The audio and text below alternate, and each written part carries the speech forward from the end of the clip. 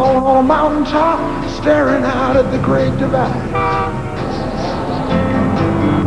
I could go east, I could go west, it was all up to me to decide. Just then I saw a young hawk flying and my soul began to rise. Pretty soon,